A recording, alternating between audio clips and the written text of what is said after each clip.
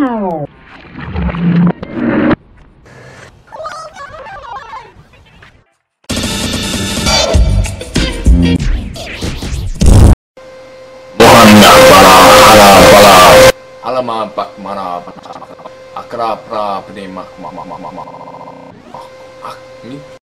any English speaking infidels watching this, I just wanted to say that I'm still crazy and very alive. I said I'd release a video for the 6th anniversary and I man up my words. If you think this is a fake, you're completely crazy.